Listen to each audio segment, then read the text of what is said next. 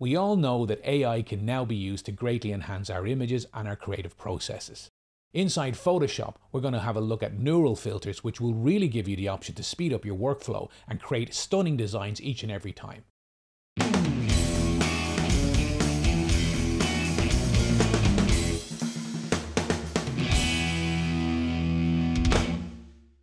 So, what exactly are neural filters and why do we need to use them?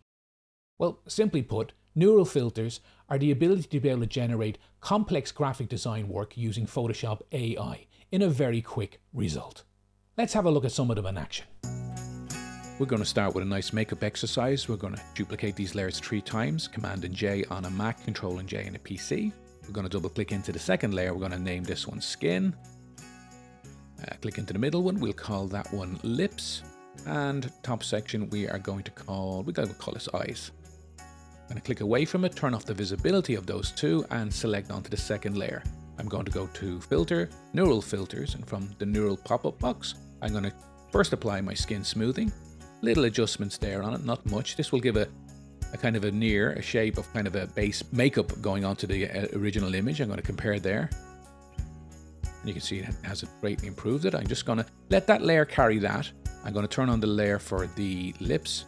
And this time, when I go to my neural filters again, I'm going to employ wanted makeup transfer. A little bit of a description there on the right hand side. I'm going to activate. And from here, I'm going to choose an image that I think is the kind of lip colors that I want to use within my design. I have a few examples here. So I'm going to show you one.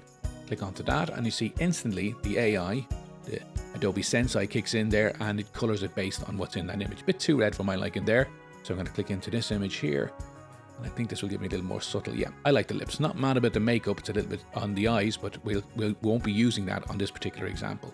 So I'm going to click onto my eyes. I'm going to do the same process through the neural filters into my makeup transfer. I'm going to change it to a different image this time. I'm going to click onto this one here. And it's giving me this particular look. Give a little second. And there we go. Still a bit strong, but I can deal with that um, within Photoshop itself. But the basis of what we have there, the ability to be able to put them onto it is fantastic.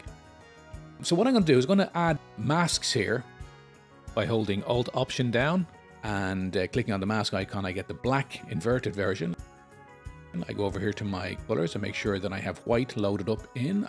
I go to my brush, I'm going to change it to a soft, soft edge on that. And also make sure my opacity is set to 100%. Now I can mouse over the lips, which is reading in from the photograph. So in other words, when we introduce white into our masks, we can see the image, the original image that was applied to it. If I click here into the makeup, exactly the same principle, I can brush in makeup effect from the image on the eyes that was applied. And over to this one, not to the eyebrow, there. But it's a bit strong. It's taking a pure 100% reading, so I'm going to reduce the opacity. I'm going to swap it back to black because black hides, which means because it's only half the opacity, I can kind of take away half the effect so I can blend it in much nicer into the original image itself. And these processes, the neural filters and the masking elements really add up to giving us what was something would have in the olden days would have taken a lot longer to have to prepare just using Photoshop by a step-by-step -step basis. So fantastic. Love that option. In this next example, we're going to look at smart portraits inside neural filters.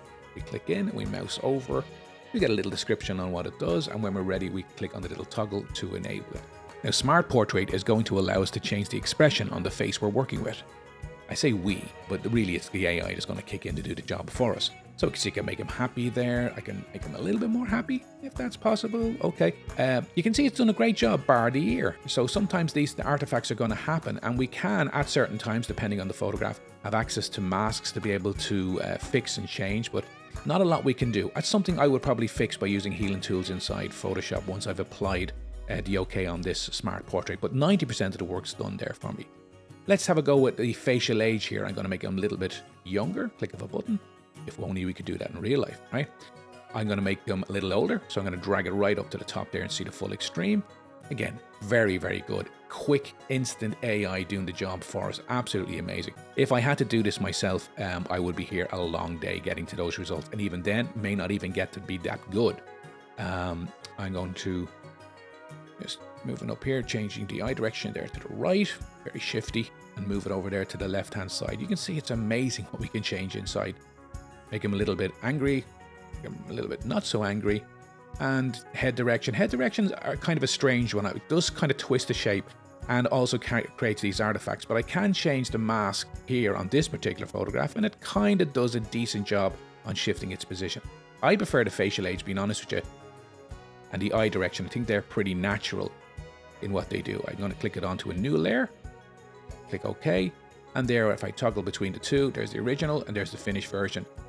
I think that's a very, for clicking two buttons and getting those results so quickly, absolutely fantastic AI. Do check back for more videos in the series on neural filters.